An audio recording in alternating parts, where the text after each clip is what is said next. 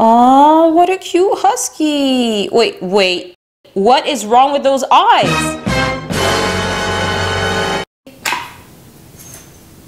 Skaya, what's wrong with your eyes? Yeah, Skaya, you've got two different colored eyes. Yeah, you do. Haven't you seen yourself in the mirror?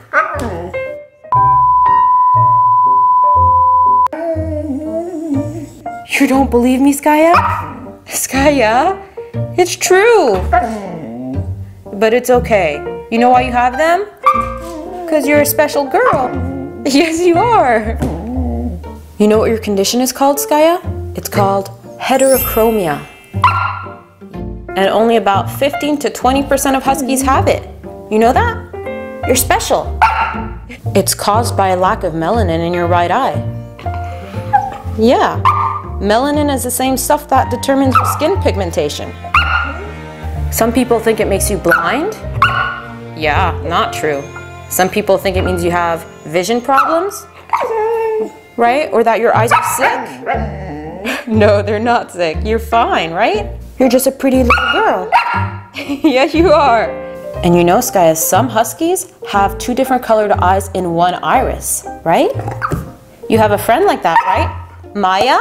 Yeah? you love Maya? you know what else though, Skaya? Huskies aren't the only ones that get heterochromia. Sometimes Australian Shepherds get it, Dalmatians, Corgis. There's so many different dog breeds that get it. What? You thought you were special? Well, you, you, you are, Skaya. You are. But that doesn't mean your friends can't be special too, right, Skaya? Skaya, come on. You're special? Yeah, you are. You're my special little girl, okay? Don't be jealous. Oh yeah, sure. You're never the jealous kind, are you?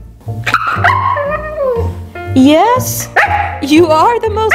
Yes, you are very special, Skaya.